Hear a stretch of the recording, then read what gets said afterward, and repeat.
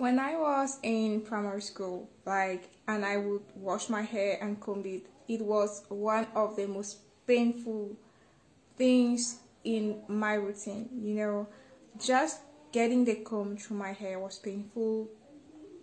At times, my comb would even get broken.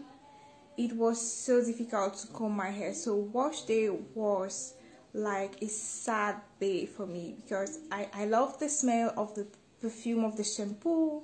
I love the sensation of wet water, of the sensation of water on my wet hair, you know. But the pain with combing my hair was so hard that I thought that the solution was relaxers.